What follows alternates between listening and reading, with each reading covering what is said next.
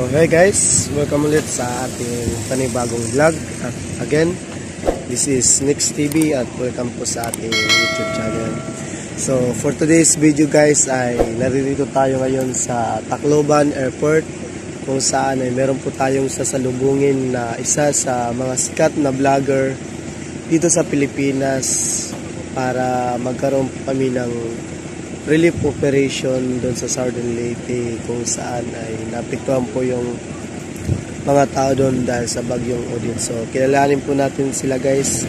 Kilalanin po natin itong mga vlogger na kung sino talaga sila kasi sa akin ay surprise din po kung sino, sa, kung sino sila. Uh, sinabi lang po sa akin ay sikat po sila na mga vlogger at umaabot po ng million of views yung mga video nila kaya kilalanin po natin guys sila. So what's po kayo at again this is Next TV po sa kung hindi ka po nakapag-subscribe sa ating YouTube channel mag-subscribe ka na, mag-like, mag-share sa ating video at huwag mo kalimutang i-share ang ating video.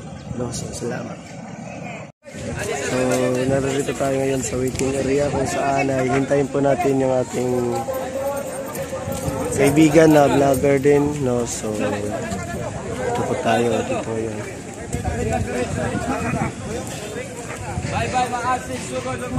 Yan no? At motor. Oh. so ito po yung labas ng DCR airport dito sa Tacloban City. Kikita po naman ninyo no na talagang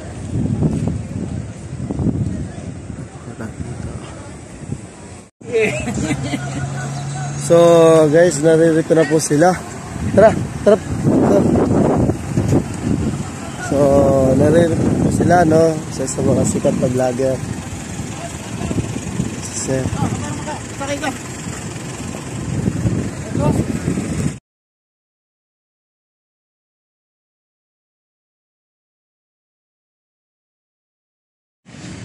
Yan, so ayan po guys. So, kagagaling lang po natin sa airport at yan po yung ating mga kasamahan, no?